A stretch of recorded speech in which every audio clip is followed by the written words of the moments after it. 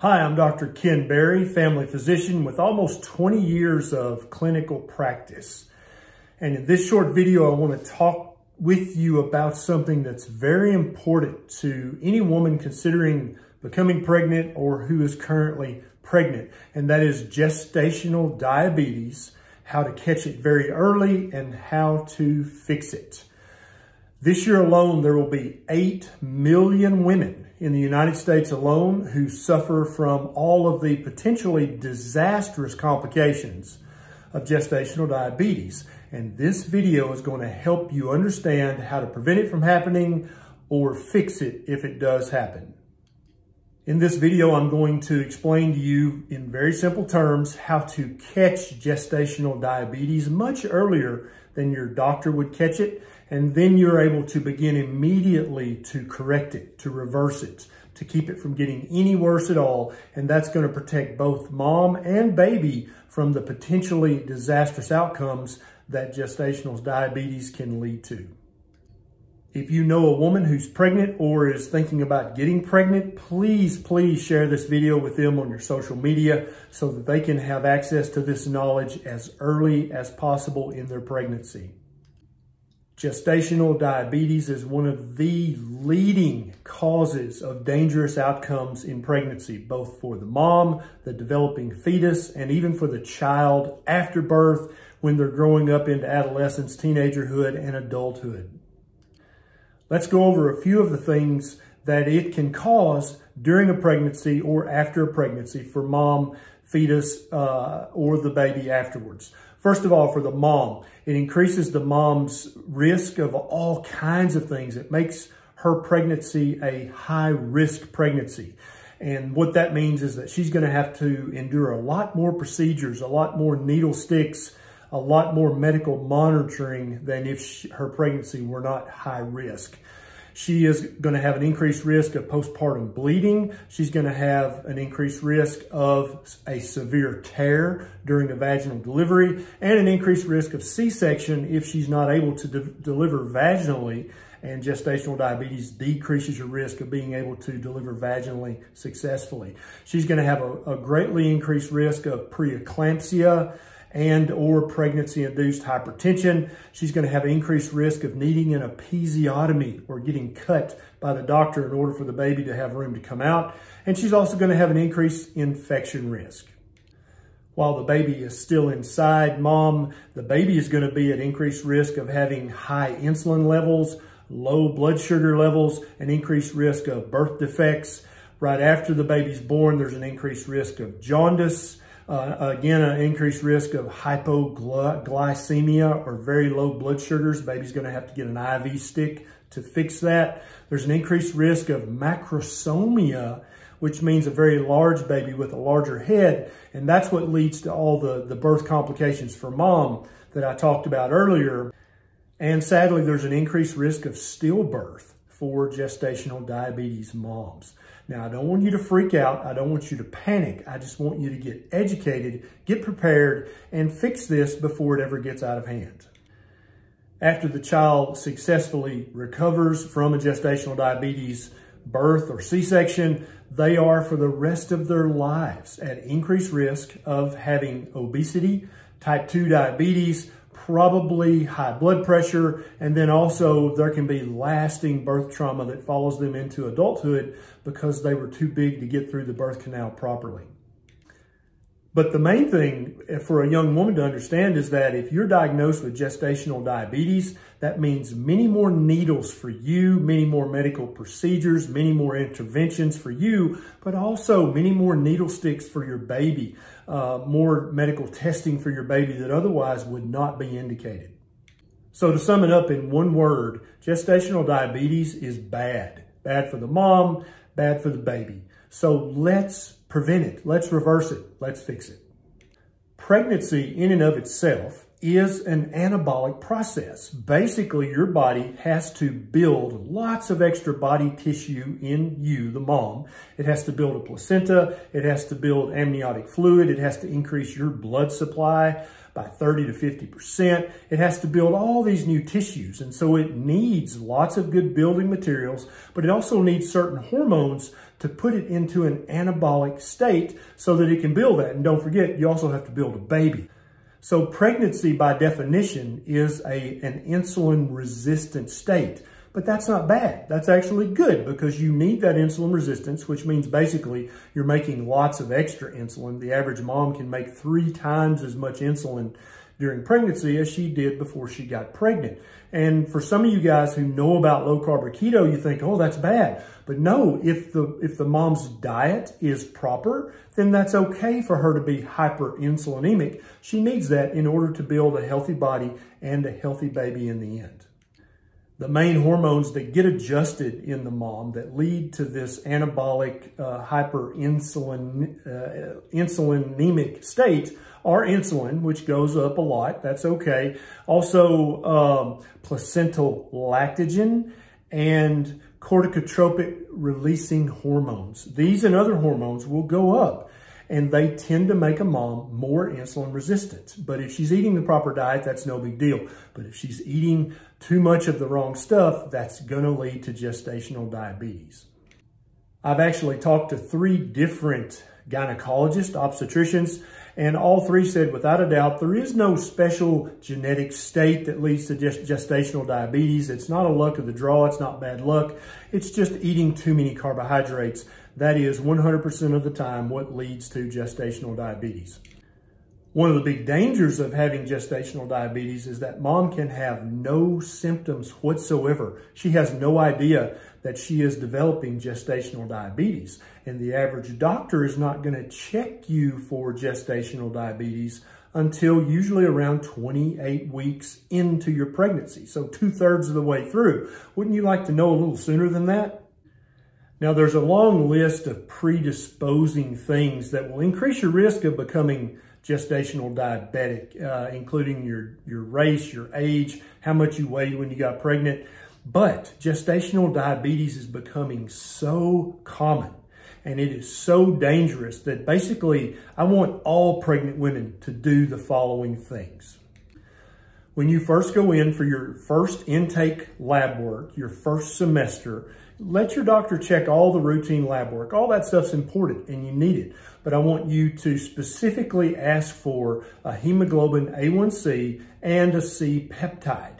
These are two tests that check for your average blood sugar readings and your average insulin secretion. These two tests are going to give you a huge heads up as to whether you are at risk for developing gestational diabetes or if you're already developing it. Another thing that these two tests are going to help is there are women out there who get pregnant and they already have undiagnosed diabetes, either type 1 or type 2, and they have no idea because often in young healthy people who develop type 2 diabetes, they don't have any symptoms. And so these two tests are going to give you and your doctor an immediate heads up as to whether you have pre-existing diabetes that you and your doctor didn't know about, or if you're starting to develop hyperinsulinemia or prediabetes or gestational diabetes, all of which you and your doctor definitely need to know about. Like I said earlier, the average doctor checks for gestational diabetes with a two-hour glucose tolerance test done at around 28 weeks into your pregnancy. But if you'll check these two tests that I'm telling you about during your first trimester, you can detect gestational diabetes that's coming your way many weeks in advance and you can prevent all the damage that would have been done had you waited until 28 weeks. If either your C-peptide or your hemoglobin A1C are even one-tenth of a point above the normal range, I want you to ask your doctor for an order for a continuous glucose monitor.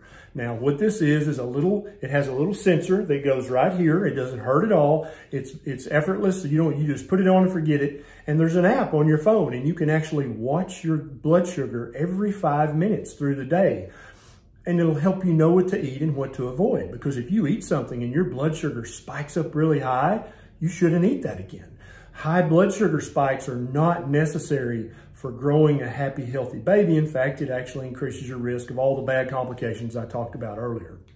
So let's say you got these two tests along with your other tests during your first trimester and you saw that your A1C was a little bit high or your C-peptide was a little bit high. And you asked your doctor and your doctor didn't want to do it at first, but you talked your doctor into getting you a continuous glucose monitor, also known as a CGM. Now you're able to watch your blood sugar very closely and anytime you eat something that causes a blood sugar spike, you'll know to avoid that food in the future the American College of Obstetrics and Gynecology, they actually have recommendations that they give to obstetricians and family doctors who deliver babies about how to manage gestational diabetes. In this, these guidelines, they recommend that a pregnant woman with gestational diabetes eat somewhere between 175 grams of carbohydrates all the way up to 300 grams of carbohydrates a day.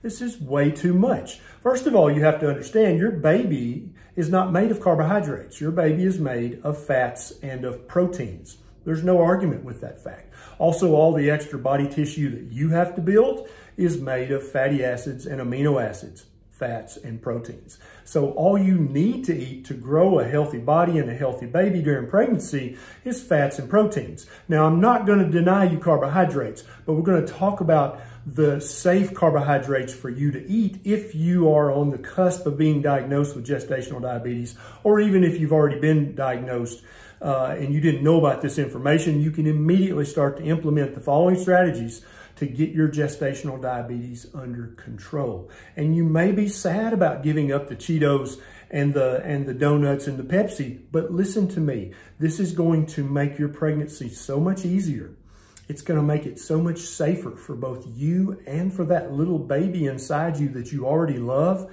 I promise you it's going to be worth making these changes in the long run.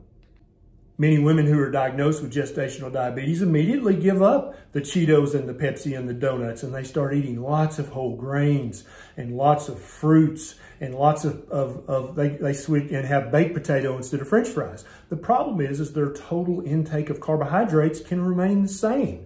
Now they're less processed and probably a little less bad, but in order to fix gestational diabetes, to reverse it, you've got to cut the carbohydrate intake. The diet that I recommend for pregnant women who are at, at risk of developing gestational diabetes or who have already been diagnosed with it is to eat a diet that is full of unlimited fats and proteins. Because remember you both you and your baby are made of fats and proteins. So you can eat as much of those as you want. And to limit your carbohydrate intake to 75 total grams or less each day. This leaves lots of room for lots of leafy greens lots of brassicas lots of nuts and lots of berries. And so you can eat all these things and get all the magical phytonutrients that are in plants in the dark greens. You can eat the colorful berries. You can eat different kinds of nuts to get all the vitamins and minerals that the experts say are in those. And by limiting your carbohydrate intake to 75 grams total or less a day, you're going to completely reverse your gestational diabetes. And you'll be able to see this on your continuous glucose monitor.